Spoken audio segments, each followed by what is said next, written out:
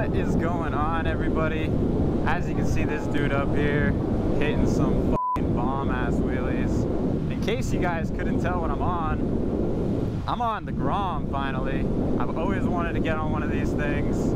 I friggin' saw one over back in North Carolina, and I've just always wanted to to get on top of one of these things. We're heading to get a drink right now, and we're just heading to go for a nice little cruise.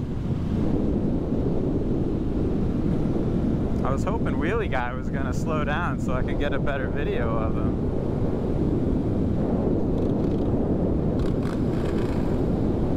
But uh, looks like he took off.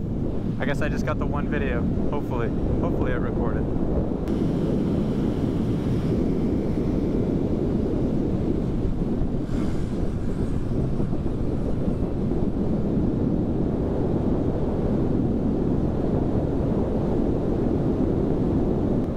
Uh, yeah, I figured I'd kind of give my peace of mind on this and what I think about it.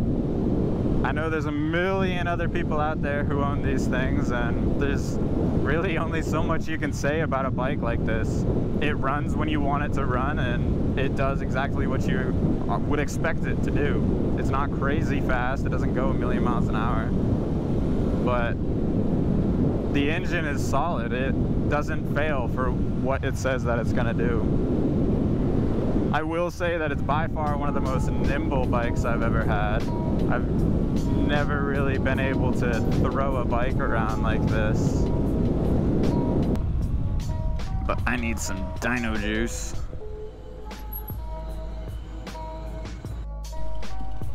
Okay.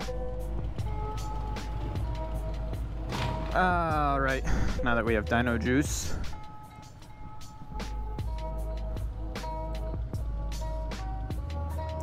And that the light just turned green.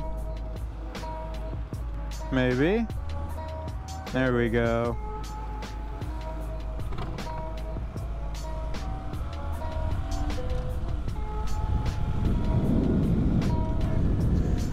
But yeah, as I was saying before I had to stop, um, this bike, as I'm sure you could imagine, is just a really strong, perfect little bike. It's got the, it gets the question a lot of like, should this be your first starter bike? If you've never ridden a motorcycle before, is this what you should look at getting? In some cases, yes, but in other cases, no, because like this bike is so forgiving when you make a mistake or you you overcorrect something or whatever the case might be. I mean, if it drops even, it's not the biggest of deals. It's not like dropping a brand new crotch rocket or brand new Harley. It, it doesn't hurt inside as bad. It doesn't hurt your wallet as bad. Um, but the downside to it is it really it doesn't have much power. The engine is only a 125 so if you put yourself in a situation where you may need power to get out of you may not have the power to do that. It has a max speed of like 60 miles an hour maybe and that's really it you're not going to get too much more out of it. I suppose you could do some aftermarket engine work to it and probably get a few extra a few extra horsepower and whatnot, but you're not going to make it a 100 mile an hour bike. It's just not going to happen. It's a 125. You don't buy a 125 to be a 100 mile an hour bike. But with that being said, it also can teach you a ton if you are super intimidated whenever you go to sit on a bike or if you're not really sure about the whole about buying a motorcycle in general.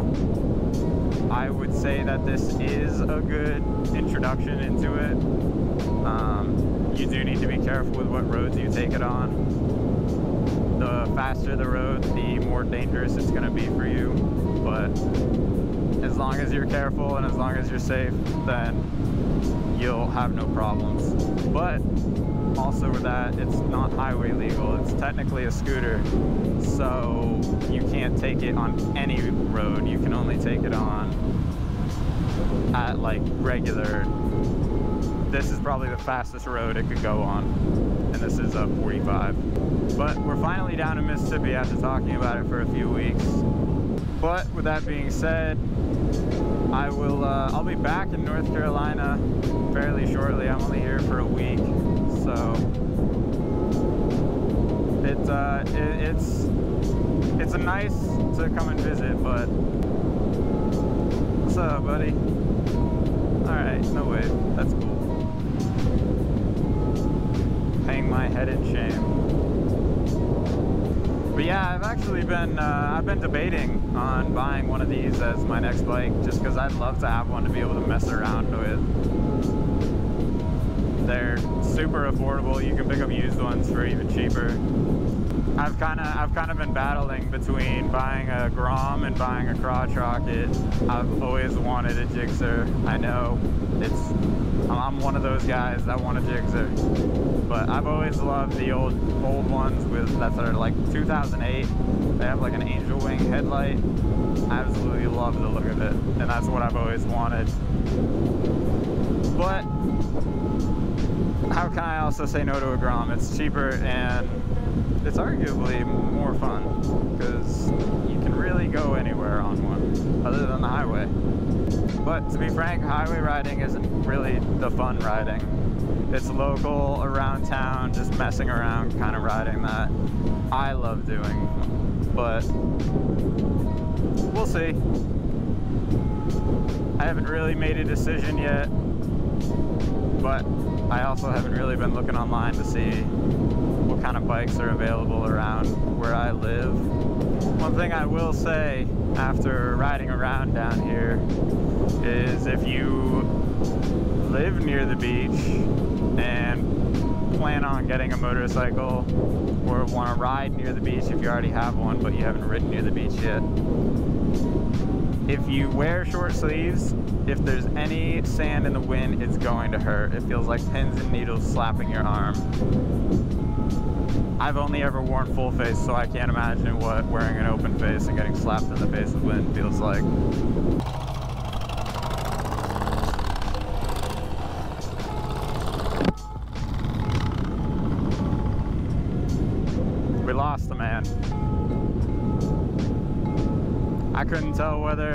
Were gonna make a light or not.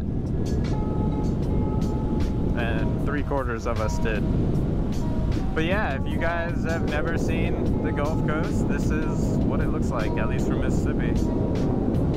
They take care of these beaches extremely well. They groom them every uh, every morning. I think it's every morning. That way they're always looking nice and pristine. But it's nice here. I love visiting. My plans are. I've thought about going to Texas, but nothing's really set in stone. I'll be in North Carolina for another three and a half to four years. So I've got plenty of time to think about it. But we'll see. At that point, I don't really know where I'll be in life.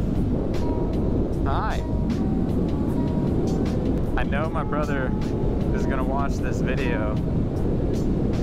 So when you watch this, I'm so much friggin' happier that you're wearing a full face helmet and not some damn brain bucket that's gonna do absolutely nothing if you hit your head. And that helmet looks cooler anyways. Nobody wants to see your face when you're on a bike. Everybody wants to see a badass helmet. That's kind of to each his own. I've, I've, I know the argument of why people ride with open face. A, because it gets hot. But I, I don't really ever have a problem with, with uh, it getting hot unless I'm just sitting in the sun. But whether I have a helmet on or not, my face is gonna get hot. And then people like to feel the wind on their face and they like to kind of get the whole experience when they're riding a bike, but it's just not for me. Oh, that is sick. But yeah, it's just not for me. I, I'll take a little bit of extra heat over getting hit in the face with the June bugs and whatnot. My uh, my Airflite has scars all over the visor from getting hit in the face from just different stuff flying out of people's cars. If you get stuck behind a truck that's got a bed full of wood or rocks or whatever, all it takes is one to bounce and smack you right in the eye. Granted, I know you're supposed to wear eye protection when you have an open face, but still, I'll take a big visor over a pair of sunglasses. But yeah, I don't actually know where we're going. I don't know my way around here super well. I was only here for less than a year and then I left. I moved away, but I visit when I can.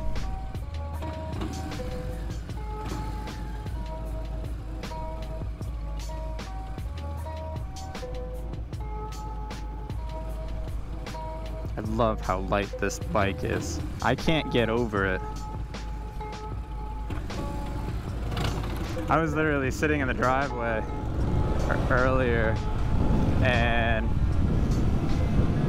we were in a spot where we needed to back all the bikes up and my brother and my father had to weasel their way out of the driveway where I literally picked up the rear end of this bike and turned it around and drove it out. And that's just so nice to me.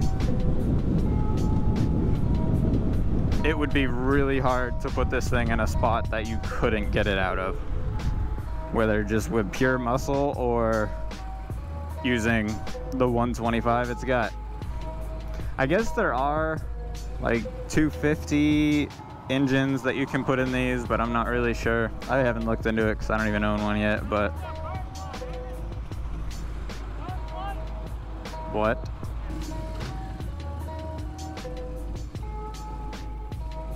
Oh, it's getting toasty. That is another thing I want to ride, is a jet ski. I've never ridden on one, and they seem so fun. I've ridden just about everything else other than a jet ski. Tesla.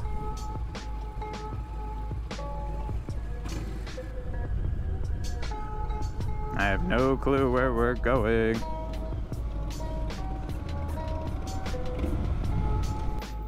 Right here?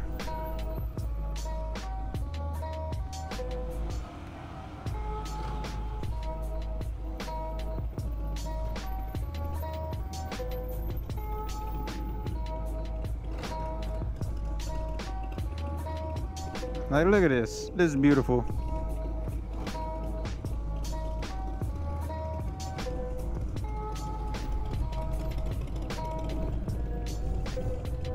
Just put this thing wherever I want. Oh, and that's another thing. The kickstand is part of the kill switch. I learned that today.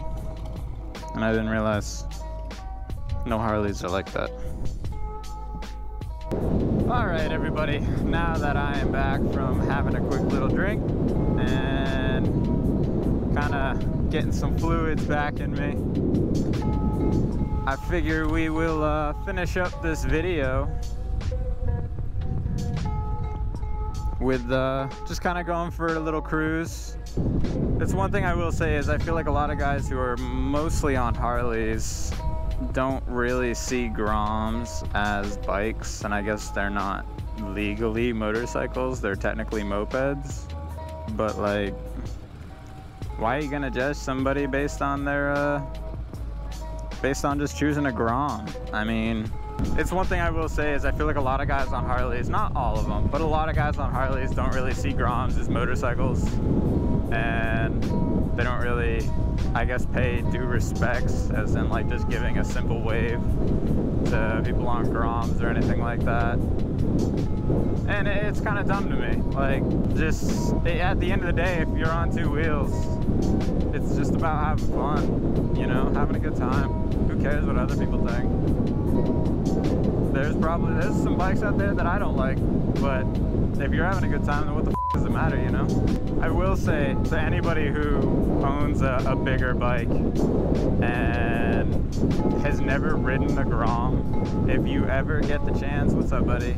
If you ever get the chance to ride a Grom, take it. It will change your life. You're not setting no speed records, you're not two people. That's why I paused. But uh, you're not setting no no land speed records. You're not doing nothing crazy.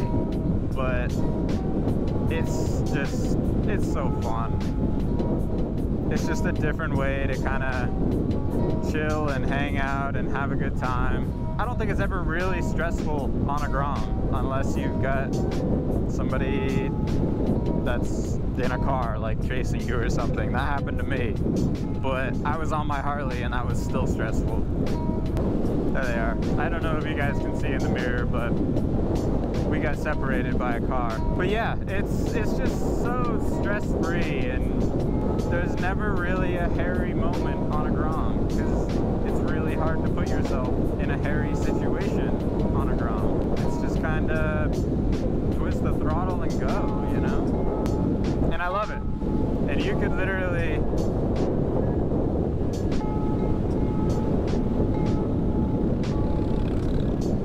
I totally cut him off. But you could literally take this thing anywhere. You could probably ride it through the sand if you wanted to, and it probably wouldn't get stuck. They've got off-road tires you can throw on it, sorts of setups that you can do to really make the Grom exactly what you want it to be, whether you want a little 125 dirt bike, you want a little dual sport, a little, like, I guess, street racer, if you plan on trying to turn a 125 into a street racer. I do see a wall of rain, so it looks like it might possibly rain. In case y'all didn't know, that's the universal sign for rain is like we may get caught in some rain. I'm uh, not too sure how this is gonna turn out. This road sucks when it rains, so we'll see. Really pushing this bike to everything it's got. I feel bad because I hate holding it to the uh, to the max on this bike, but on somebody else's bike at least. But at the same time, it's a Honda. I've never ever had a Honda engine fail me in all my years of riding bikes, ATVs, whatever, boats. I have never once had a Honda fail me. So that is one thing I will say is not only is the Grom itself bulletproof, but the engine is a really solid engine I've seen them take incredible beatings and be fine. I don't think that dude is wearing a helmet at all. I don't think that's legal here in Mississippi. Okay, we pulled over to kind of get a new game plan because we were going to go for a longer ride, but as you guys can probably see, it's raining pretty hard over there. So we're going to try to get back to the house, hopefully without getting soaked. But uh, I'm really angry because as soon as I stopped recording, right at this intersection, I had to stop in the middle of the intersection because somebody not even like tried to beat the yellow light, they just straight up ran the red light. And if I didn't stop in the middle of this intersection, I would have been smoked, like dead on impact because some incredibly ignorant driver just didn't even hit the brakes. Full throttle all the way through the light. Almost hit my brother and I had to stop in the middle of an intersection just so I wouldn't get T-boned from the side. It was just insane to me. But yeah, that's that's the first I've ever had that happen, here at least. I, uh, I'm not sure if it's true anymore, but I know that Mississippi was rated like one of the worst states for drivers. Like drivers just don't know how to drive. I don't know why. I don't know if people are just constantly distracted or if it's just that the driving courses suck down here. You guys will see on the screen if that's true or not, but that's what I heard is that Mississippi was the number one worst state for driving. So Which is not good if you're on a motorcycle because then you get idiots that run red lights and almost hit you if you're not watching. I will be amazed if I don't get soaked. We're not super far from our house. We're probably 15, 20 minutes away, maybe, if that. But we'll see. That cloud's like just on the other side of the bridge, which is where we need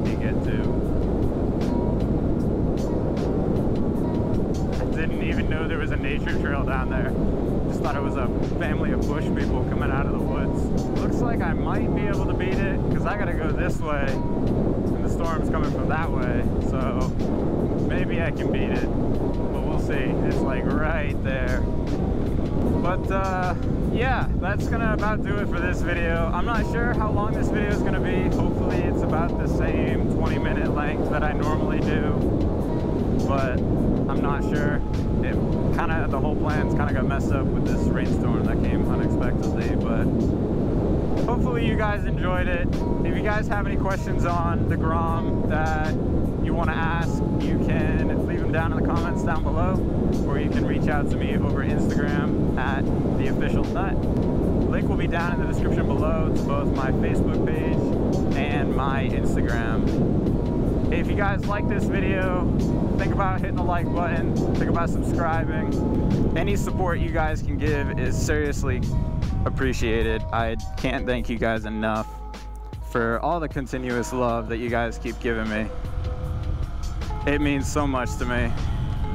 And I, I just don't know what to say. But anyways, until the next video, I will see you guys next week.